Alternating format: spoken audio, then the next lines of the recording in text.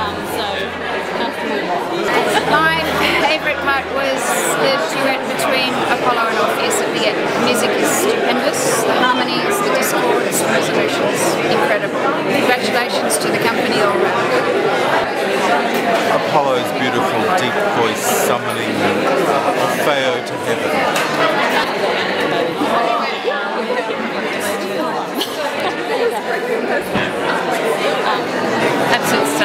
Ensemble was beautiful as always, and the vocalist fantastic.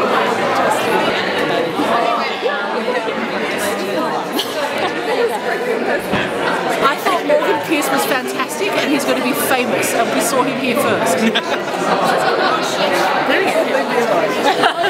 oh, and Paul Dyer is a genius and the orchestra sounded fantastic and Jess Champion is also a genius.